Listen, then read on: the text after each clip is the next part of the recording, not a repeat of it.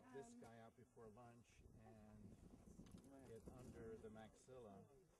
Yeah, brush this. Oh, you're close to the drainage ditch.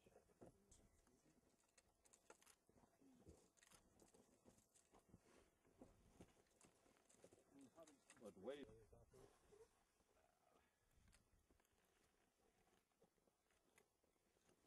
戴墨镜都看不见你，要看我干嘛？你不要拍进，可以吗？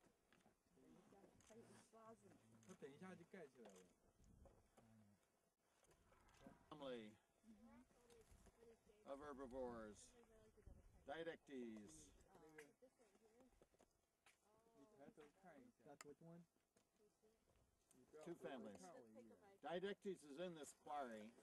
Edaphosaur isn't, but we have Edaphosaurs there, there, there, and there. Yeah. 你现在你你不要踩到它。 Yeah.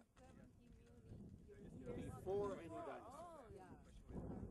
So maybe it's the uh, it's the oldest uh, species in These are the oldest land animals. uh, uh oldest and uh, This is Did you find the reason why uh, those thick this way. Goes 200 meters north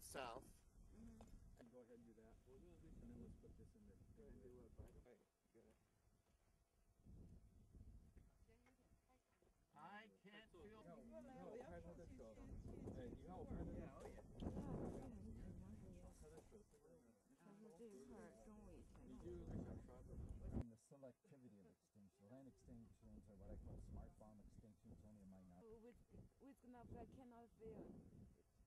You need gloves with the fingers cut off. Uh, uh, uh, in this place, not in place. But in uh, 295 million years ago, early Permian period, this part of Texas was sinking. It was just about at sea level.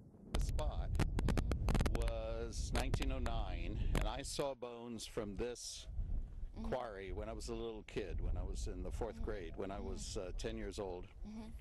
And I saw those bones in Chicago.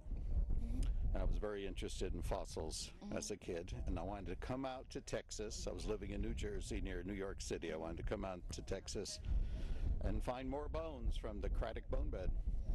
And I guess that's how I came here. Mm-hmm.